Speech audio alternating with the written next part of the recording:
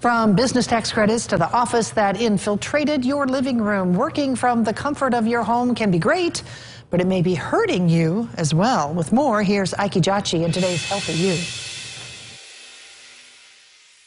There's nothing like being able to go to work in the next room. Living at the office comes with its perks.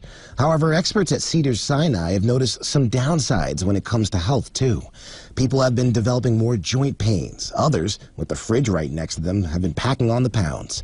The isolation has also led to increased rates of anxiety, depression, and substance abuse. But there are a few things you can do to avoid these issues. One, fix your workspace. Sit with your back and wrists straight and your computer screen at eye level to avoid too much strain.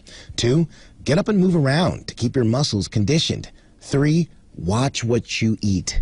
Weight gain can cause more problems like type 2 diabetes or liver disease. And four, get help if you need it. If you're struggling, you can reach out to a health professional.